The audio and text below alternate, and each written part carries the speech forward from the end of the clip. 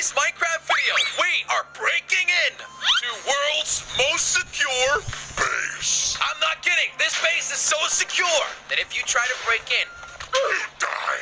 So that's exactly what we're going to try and do in today's video. At 50,000 likes, we'll manage. I go to the jelly store for merchandise. Thanks for watching. Click to watch another video. Do it now because this one's over. Whiny Weenie. That's not my name. Whiny Weenie. That's not my name. Woony Quainer with Doodly. Stop!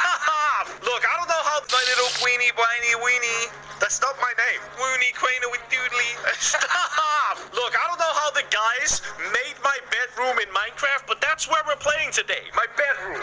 We're gonna do hide and seek in there where one guy is giant and the others are like miniature size. If you wanna make me giant, hit that like button now.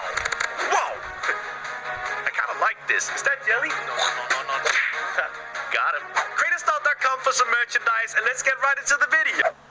Well, yeah, you know what? I feel like I did the best, but it was also my bedroom. So check out these two videos if you want to see some more. Open gate! Whoa! And then you can leave. Wait, we can leave if we want. Right. Ah, drop spikes. To protect Drop spikes. In today's video, we're going to be checking out The ultimate base for the end of the world. That's right. If everything goes to poop in Minecraft, you can rely on this base to look after you. At least until maybe you, you run out of food. That that wouldn't be good. Crainer's going to be giving us a tour today, as he actually designed it. I know it sounds weird, right? But if you want to see a base that me or Jelly designed, click that like button. Also head over to slogo.com for the merch, and let's get into the video. Thanks for watching, guys. If you want to see some more, there are videos on the screen. Just click them, or you can head over to slogo.com and check out that merch. Subscribe for good luck.